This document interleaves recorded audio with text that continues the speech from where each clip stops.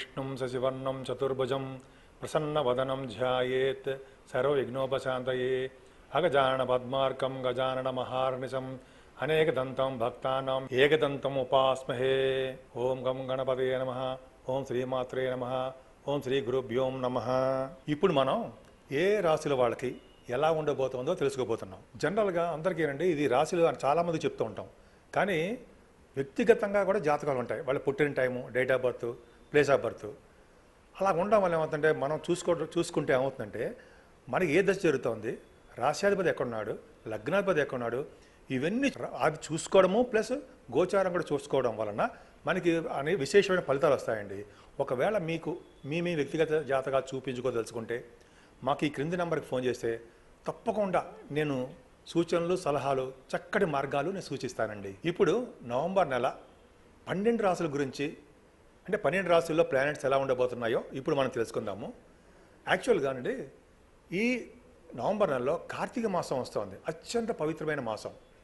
అంటే మనకి శివారాధన శివాభిషేకాలు మనం చేసుకుంటూ ఉంటాం. అంతేకాదండి ఇరవై ఒకటో తారీఖు నుంచి కూడా సింధు నది పుష్కరాలు వస్తున్నాయి.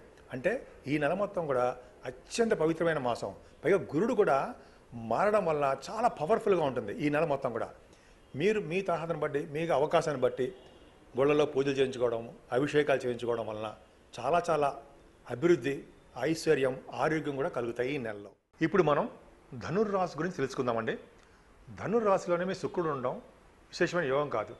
మీ రాశ్యాధిపతి కూడా ద్వితీయ భావంలో ఉండి పదిహేడు అంటే ఇరవై తారీఖు వరకు ఉంటాడు. ఇరవై తారీఖు తర్వాత నుంచి అంటే ట్వంటీ డేస్ ఇరవై తారీఖు అంటే మకర రాశిలో ఉండి ఇరవై నుంచి ఇరవై ఒకటి నుంచి కూడా కుంభరాశిలోకి వెళ్తున్నాడు. అంటే ఏడు విశేషం శని గురులు కాంబినేషన్ ఇరవై తారీఖు వరకు కూడా మీకు విశేషించి యోగం మాత్రం కాదు. కాదు ధనం ఇస్తాడు అలాగే మీ మాట పలుకుబడి పెరుగుతుంది. మిమ్మల్ని చూడాలనే తపన చాలామందికి ఉంటుంది. కుటుంబంలో మీకు మనస్పర్ధలు రావడానికి ఉంటుంది. ఎందుకంటే శని వలన ఇరవై ఒకటి నుంచి కూడా కుంభంలో గురుడు ఉండడం వల్ల మీ గురుడికి బలం పెరుగుతుందండి. మూడో ఇంటి గురుడు మంచివాడు కాదు. అయినప్పటికీ కూడా గురు బలం వల్ల కొన్ని కొన్ని పనులు మీరు ఖచ్చితంగా సక్సెస్ఫుల్గా చేయగలరు. ద్వితీయ స్థానంలో శని కూడా అంతే కదా.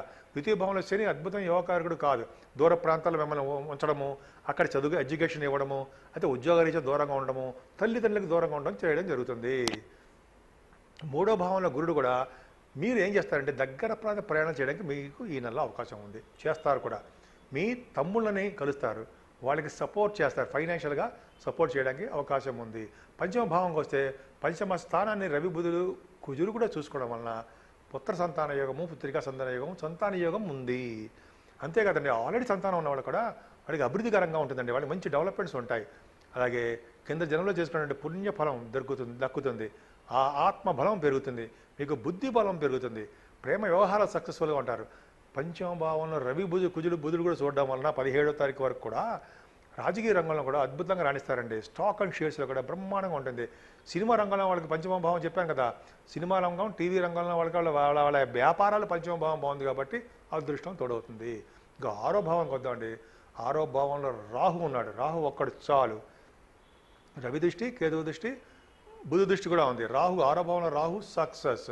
అంటే మినిస్టర్స్ కానీ ఎలక్షన్స్లో సక్సెస్ అవ్వడం అయితే ఒక మినిస్టర్స్కి అంటే రాజకీయ రంగంలో ఉన్న వాళ్ళకి నూతనమైన నూతనమైనటువంటి పదవులు రావడం అవకాశం ఉంది. రెండో పాయింట్ ఏంటంటే స్టాంపింగ్ అంటే visa stamping passport H one B visa ఉంటుంది కదా. అది రావడానికి అవకాశం ఎక్కువ. ఆరో భావంలో రాహు ఉండవాలండి. స్టాంపింగ్ అవ్వడం అలాగే వీసాలు రావడం హెచ్ వన్ బి వీసా రావడం మీకు జరుగుతుంది. రాహు ఆరోభావం ఉండడం వల్ల కాంపిటేటివ్ ఎగ్జామ్స్ రాస్తారు కదా. ఎగ్జామ్స్ కాంపిటీషన్ ఎగ్జామ్స్ రాస్తుంటారు కదా. అదే ఇంటర్వ్యూస్కి వెళ్తుంటారు. వాళ్ళు కూడా సక్సెస్ అవుతారండి. సివిల్ సర్వీసెస్ కానీ డాక్టర్స్ చాలామంది కూడా ఎగ్జామ్స్ రాస్తున్నారు. వాళ్ళు కానీ చాలామంది అండి చాలా రకాలుగా ఎగ్జామ్స్ రాస్తున్నారు. వాళ్ళకి సక్సెస్ అయి తీరుతారు. ఆరోభావం బాగుంది కాబట్టి. మీ మేనమామలు కూడా అంతే కదా. మీ మేనమామలు కూడా చాలా బ్రహ్మాండం కలిసి వస్తుంది. ఇంకొకటి ఏంటంటే మీకు శత్రువులు కూడా మిత్రులు అయి తీరుతారండి. అంటే శత్రు భయం తక్కువ అనారోగ్య సమస్యలు తక్కువ దీర్ఘకాల వ్యాధులు ఉన్నాయంటే అవి ఖచ్చితంగా తగ్గుముఖం పడడానికి అవకాశాలు ఎక్కువ ఉన్నాయి. కాకపోతే మీరు రుణాలు చేయడానికి మాత్రం అవకాశాలు ఎక్కువ. ఇంకా సప్తమ భావం చూద్దాం. సప్తమాధిపతి వ్యయ స్థానంలో ఉండడం గొప్ప గొప్ప గ్రేట్ ఏం కాదండి గొప్ప గ్రేట్ ఏం కాదు. అంటే పదిహేడు ఇరవయో తారీఖు వరకు కూడా లాభస్థానంలో పదకొండో స్థానంలో ఉండము అలాగే ఇరవై ఒకటి నుంచి వ్యయస్థానంలో ఉండడం అంత అద్భుతం కాదు. కానీ బుద్ధుడు పదకొండో భావంలో ఉండడం వల్ల ఏమవుతుందంటే మ్యారేజెస్ అవ్వడానికి అవకాశం ఉంది. కాబట్టి వాళ్ళకంటే ధనం కూడా రావడానికి అవకాశం ఉందండి. అంటే వివాహాది శుభకార్యాలు చేస్తూ ధనానికి లోటు లేకుండా చేస్తాడు. అలాగే కొత్త కొత్త వ్యాపారాలు చేస్తే బాగానే ఉంటుంది. కానీ ఇరవై ఒకటి నుంచి నష్టాలు రావడానికి అవకాశం ఉంది. కాబట్టి మీరు వ్యాపారాలు చేయకపోవడమే మంచిది. భార్యాభర్తల మధ్య విషయంలో సఖ్యత అనురాగం అవన్నీ కూడా బ్రహ్మాండంగా ఉంటుంది. కానీ ఇరవై ఒకటి తర్వాత నుంచి వాళ్ళ మధ్యలో మనస్పర్ధలు ఒకళ్ళ వల్ల ఒకళ్ళ ఖర్చులు అధికంగా అవుతాయండి. ఇంకా అష్టభావం శని చూస్తున్నాడు కదా. అష్టభావం శని చూడడం గొప్ప విశేషం మాత్రం ఏమీ కాదు. ప్రయాణాల్లో జాగ్రత్త వహించవలసి వస్తుంది. పైగా నీటి గండం ఉందండి. మీరు నీటిలో ప్రయాణం చేసేటప్పుడు నీటి దగ్గరికి వెళ్ళకండి. కొద్దిగా ఇబ్బంది కలగడానికి అవకాశం ఎక్కువ. అంతే కదండి. మీరు ప్రయాణాలు చేసేటప్పుడు రోడ్డు మీద ప్రయాణాలు చేస్తారు కదా వాటి వల్ల కూడా ఇబ్బంది కలుగుతుందండి. అంటే మీరు ఆరోగ్యం పట్ల డాక్టర్ సలహాలు తీసుకొని మెడిసిన్స్ వాడడం మంచిదండి. ఎందుకంటే మీరు డాక్టర్ సలహాలు తీసుకోవాల్సి వస్తుంది. అనారోగ్య సమస్యలు మీకు రావడానికి అవకాశం ఈ నెలలో ఉంది. ఇంకా నైన్త్ భావం వద్దాం నైన్త్ భావాధిపతి నైన్త్ భావంలో గురుడు ఉన్న విశేషమైన యోగం. గురుదృష్టి చూస్తున్నాడు. గురుదృష్టి చూస్తున్నాడు కదా. అంతేకాకుండానండి గురుడు ఆ రవి అనేవాడు మీకు పదకొండో భావంలో ఉన్నాడు. పదకొండో భావంలో ఉండడం వలన విశేషం. అంటే భాగ్యస్థానం పెరిగిపోతుంది. అంటే టీవీ రంగంలో ఉన్న వాళ్ళకి సినిమా రంగంలో ఉన్న వాళ్ళకి వాళ్ళ వాళ్ళ వ్యాపారాలు అభివృద్ధి చెందుతాయండి. ఇంకోటి అంటే నైన్త్ భావం ఫా అదేంటి మినిస్టర్ అని చెప్పాను కదా నైన్త్ మినిస్టర్స్ కూడా చూస్తాం కదా గురుదృష్టి ఉంది కదా. అండ్ నైన్త్ భావాధిపతి కూడా లాభస్థానం ఉన్నాడు కదా రా- రవి పదిహేడు వరకు కూడా. వాళ్ళకు కూడా ఉన్నతమైన పదవులు రావడం మనసు ఆహ్లాదకరంగా ఉండడం ఫైనాన్షియల్ సపోర్ట్ జరగడం వాళ్ళ మినిస్టర్స్ అందరికీ ఉంటుందండి. ఇక మూడో భావం ఏంటంటే హయ్యర్ ఎడ్యుకేషన్ రీత్యా దూర ప్రాంత ప్రయాణం చేసే వాళ్ళకి కూడా అక్కడ పరిస్థితులు అనుకూలించి చక్కటి అవకాశాలు వాళ్ళకి లభిస్తాయి. ఎడ్యుకేషనే కాదండి చాలా ప్రొఫెసర్స్ లాయర్స్ డాక్టర్స్ కాస్ట్ అకౌంటెంట్లు చార్ట్ అకౌంటెంట్లు వీళ్ళందరూ కూడా దూర ప్రాంత ప్రయాణాలు చేస్తారు. చేయడానికి అవకాశాలు ఎక్కువ. అలాగే మీరు తీర్థయాత్రలు తీర్థయాత్రలు చేయడానికి అవకాశం ఉందండి. అంటే మీరు ద్వారకా వెళ్ళడం కానీ మన జ్యోతిర్లింగ దర్శనం చేసుకోవడం ఈ కార్తీక మాసంలో జరగబోతుంది. అలాగే సౌత్ ఇండియన్ టూర్స్ కూడా చాలామంది వేయడానికి అవకాశం ఉంది అంటే దూర ప్రాంత ప్రయాణాలు తీర్థయాత్రలు చే రీత్యా వెళ్తారు. అలాగే పీఠాధిపతిని కలుస్తారు. అలాగే తల్లిదండ్రుల సేవ చేసుకుంటూ గురువులు కూడా కలుస్తుంటారు. సో వాళ్ళ వల్ల మీకు అభివృద్ధి కలుగుతుంది. నైన్త్ భావం వ్యాపారాలు చెప్పారు కదా సింగరేణి కోల్ అలాగే ఐరన్ స్టీల్ గ్యాస్ ఇవన్నీ కూడా రండి. కన్స్ట్రక్షన్ రంగంలో వాళ్ళకి సాఫ్ట్వేర్ ఫార్మస్యూటికల్స్ ఇవి ఇంకా చాలా ఉన్నాయి. వాళ్ళందరికీ కూడా గురుబలం బాగుండడం వలన అలాగే రవి కూడా లాభస్థానంలో ఉండడం వలన వాళ్ళ వాళ్ళ వ్యాపారాలు అభివృద్ధి చెందుతాయి. కాంపిటీషన్ ఎగ్జామ్స్ రాస్తున్నారు చాలామంది ఇంటర్వ్యూస్ కూడా వెళ్తున్నారు. వాళ్ళకు కూడా రండి ఆడవాళ్ళకు కూడా. మంచి తెలియని వాళ్ళ మీద ధను మీ రా ధనురాశి వాళ్ళకి పర్ఫెక్ట్గా సాధించి తీయడానికి అవకాశాలు ఎక్కువ. ఇంకొక విషయం ఏంటంటే మీ రవి అంటే నైన్త్ హౌస్ లార్డ్ పదిహేడో తారీఖు నుంచి ఈ నెలకు మొత్తం అక్కడ ఉంటాడు. అంటే వ్యవస్థానంలో ఉంటాడు. అంటే వ్యవస్థానంలో వృచ్చిక రాశిలో ఉంటాడు.